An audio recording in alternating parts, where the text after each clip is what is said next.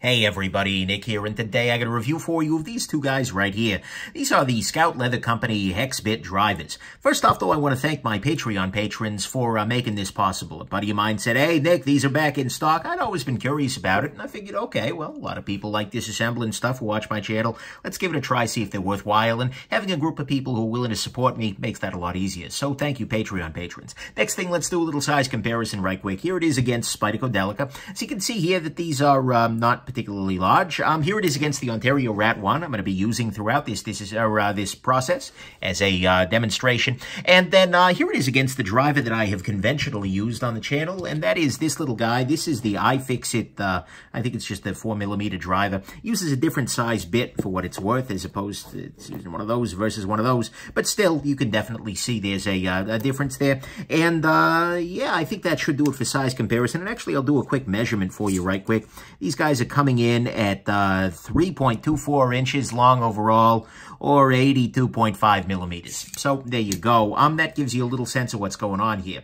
The biggest thing, the elephant in the room with these guys is that including this little bit set here and just these bits, and the two that are in there, actually, there's one more bit around here someplace. Here it is. Um, anyways, including just these bits here, the uh, this pair costs 120 US dollars. And so the big question here is going to be, is it worth it? Is it remotely a good idea to spend 120 bucks on a pair of screwdrivers with bits? And that's kind of the approach I'm taking to this guy. So anyways, let's talk about what's good about these guys, what's not so good about these guys, and then kind of address that elephant in the room.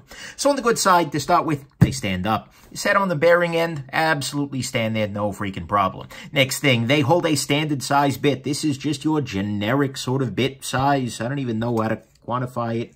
It's probably something looks like quarter inch. Yeah, quarter inch. Um, so they, they are a standard size bit. And in fact, they are held in there with a magnet. Takes a little bit of force to pull them out, but not much force at all. It's it's actually kind of nice. Um, uh, that part, switching bits is quite easy, so that's good. Next thing, um, they have a bearing at the end here. So you can see here that this little part in the back here kind of spins vaguely. If I spin it, it spins. It's not like full-on fidget spinner. I got this driver over here from Alexander Peshkov. It's like, holy crap, fidget spinnery. These are just kind of bearings. They rotate. That's about where it lands. But it's nice there because as you're doing the uh, this assembly here, I'll, I'll use my, uh, here, I'll use the one with T6. What's nice is as you're using it, you can just kind of brace this in your hand and then just rotate rotate, rotate, rotate, and the driver is able to stay still. You're able to keep pressing, putting pressure on there um, without, you know, having to move anything in your hand. And frankly, it's even a little bit more convenient with the size there because on this guy, that that you're really having to kind of push forward with your fingers. So, you know, whatever, it's, it's a thing. And I like having those bearings there. Um, next thing, these guys do offer some nice torque, both by virtue of the fact that they are relatively wide at this point. Here, I'll measure it again. Bust out my calipers, about half an inch wide at the middle part there. Um, and they also offer a, a, good amount of knurling right here, which allows you to get a fair amount of torque on there. Um, with a very smooth driver, that can be occasionally difficult, um, whereas these guys absolutely do have that there. So that's nice. Um, next thing, the size on these guys is quite nice. I have smaller hands than most, but these fit nicely in my hand.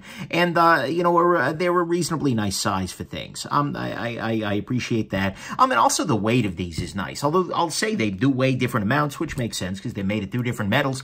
But um, this guy comes in at uh, 2.64 ounces. This guy at 2.72. Not a huge difference, but having a little bit of weight to them can be nice, and it allows, if nothing else, it's just for kind of the inertia of it all. Um, because as you're spinning things, especially as you're starting to, here, I'll pull this guy up, then after a point, you can just kind of do this flicky thing where you flick it, and then it, it keeps unspinning a little bit. Um, having a little bit more weight can give you a little bit more inertia, but still, having a little weight there is not a bad thing at all. And then finally, on the good side, honestly, these are beautiful objects.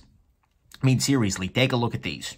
It's attractive absolutely 100% attractive. Um, there, there, there, there's no real objection to that. Um, and, you know, same thing over here. I mean, they're, they're nicely machined. They're, they're beautiful objects so far as any screwdriver is going to be beautiful. So, to me, that's what's good, is they're beautiful objects. The weight and size are nice. Um, the knurling and the, the diameter offers you plenty of torque. Um, it takes a standard bit. Uh, it's got the bearing on the end, and it does stand up on the bearing on the end. See? Look inside. Ah, there you go. Um, on the bad side, um, to start with, the, the bearings on this guy are actually not quite as impressive as I expected. Um, it, look, do I need them to be super impressive? No, but it can actually be helpful. Uh, you know, with this guy, you can really do a lot more spinning with it, and, that gets you a lot further. You can kind of, if you grab this area, it, it'll rotate a great deal more. Part of that's because this is a little bit heavier, but still. Um, the, the bearings on here aren't super impressive, and this is kind of a high-end luxury good. It strikes me as weird that they didn't go a little crazy with that, but that's not a big deal.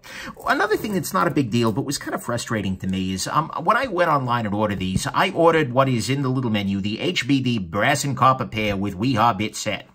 So what I read that as is you buy a pair of brass and copper with Wiha bit set, which means you would get two Wiha bit sets.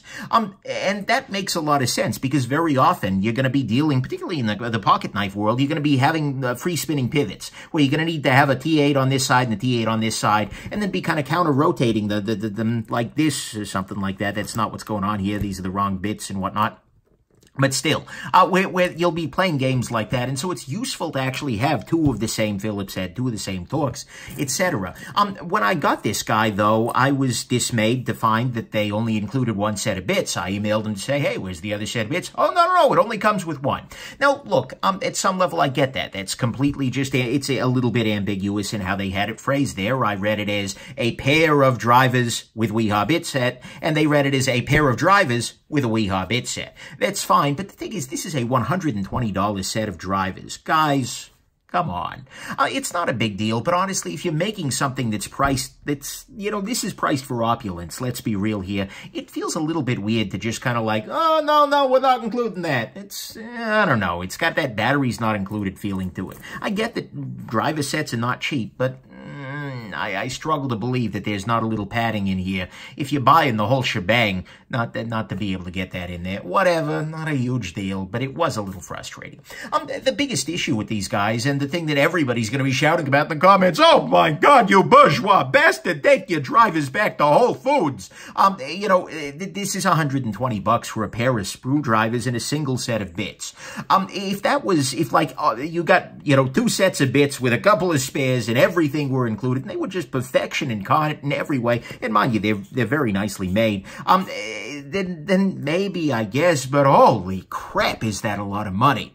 You know, I'm checking out for this and I'm just feeling like, wow, it's astounding. And so to me, at least, that's that's not great. And that was the bad here, is that, you know, they're really freaking expensive, that they didn't include two-bit sets when I sure thought they would for this price, and that the bearings aren't super impressive, but they don't particularly need to be, I guess. Um, final conclusions on this guy, I mean, the big question, the $120 question is, should I buy this pair of drivers? Are these worth the money? Um, to me, honestly, the easy answer is no. Um, look, even doing a lot of disassembly, I don't find find that these are doing anything 120 bucks better than a basic driver. Using, for instance, this little guy right here, you know, I can get 90% of the action I want very, very readily. I will say that it is nicer to have this guy kind of in the hand here um, with a little bit of extra torque that you're getting from this more severe knurling. I mean, they are nice to use. They do feel very nice. But the thing is, this is, and the inertia for turning, it's a little bit nice. But honestly, um, it's kind of a case study in diminishing returns, considering that this is 10 bucks here, and, you know, you can buy the entire bit kit and this for 50 bucks. Ah, uh, yeah, I'm struggling a little bit. I mean, yeah, these are a little better, but holy crap, that.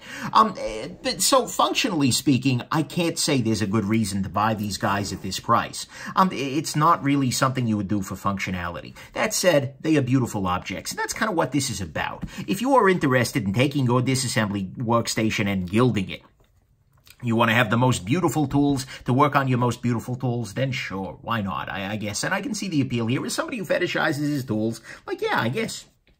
Sure, and let's be real. It'd be hypocritical for me to call somebody out for buying these guys when, when something cheap would work, because, yeah, I mean, I specialize in really expensive things that just work no better than cheaper objects. I'm wearing a $3,000 quartz watch as I film this review, so, you know, yeah. But the thing is, um, it, it just, for some reason, it, it, didn't quite land it. And so for me, it kind of comes down to the price. If these guys were like 30 bucks a piece, then sure, yeah, why not? Um, and if you just need a tool, uh, but the thing is, that is, the thing is, if you just need a tool here, then you can get much, well, you can get performance that's just about as good, um, for much, much cheaper. Like like I said, you can buy this guy for 10 bucks from iFixit. And then for the price of the pair of these drivers, you can buy two of these Wiha bit sets, which include more bits than they would have included. And you're getting the pair, you're getting extenders, you're getting all that kind of thing, as well as a couple of extra backup bits for when the, the T6s strip out. Um, and you, you'd still have a little bit of money left over. And I, honestly, that's where I'm going to send you every day of the week. If you say, Nick, should I buy these two drivers with the one set of bits, or should I buy two sets of these and one of these handles? Well, heck, you could buy two handles for this, no problem. I, this is going to be the better deal. But the thing is, they are nice. They are beautiful. And, you know, I can see the appeal, I guess. But uh, in terms of actually recommending things to people, honestly, yeah, I, I just go back there because the Curve of diminishing returns is beautiful here. So if the beauty of the tools is paramount, the money is just meaningless to you, then sure, go for it. But ultimately, even though I am probably as close to the target market for something like this as is ever going to exist, I'm afraid these just didn't quite get me to the point where it's like, yep, you should buy one. So, yeah, there you go. Hope this has been interesting to you. I really hope they're able to get the price down a little bit on these guys because, oy, oy, Um, and that if you do get them, that you love them. But, uh, like I said, you don't need these guys. I'm not even sure whether I'm going to keep using these guys just because they are so hard to recommend at the price. I don't know. A little improvement, but diminishing. I don't freaking know. Either way, it's complicated. But there you go. Hope this is interesting to you and have yourselves just an absolutely wonderful rest of your day. Bye now.